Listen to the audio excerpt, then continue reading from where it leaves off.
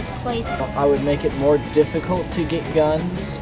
I would make sure that stays intact because that's a right that I believe everybody should definitely have all the time. You know? I think in that case you should defer to the Constitution. Who knows how crazy you'd be and you might shoot someone.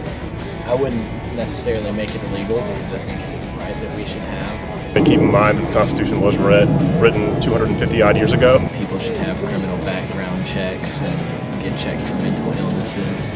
When it was written, it was meant for muskets and not automatic weapons, so I think that needs to be kept in mind when you're trying to protect people's rights.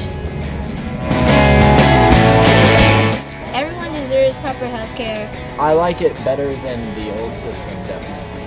I don't think the government should have a choice in as far as what people do. The government supplies the money needed to um, help with medicine. I'm all for keeping Obamacare.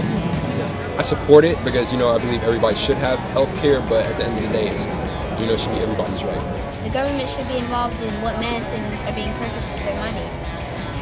I think everybody needs to be taken care of.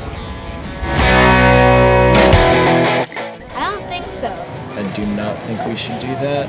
Despite how many horrible things have happened this year between the U.S. and ISIS, We're not really a country or a group. It's like when we declared the war on terror, you don't really know what you're fighting. if we just let it simmer down, maybe it'll get better.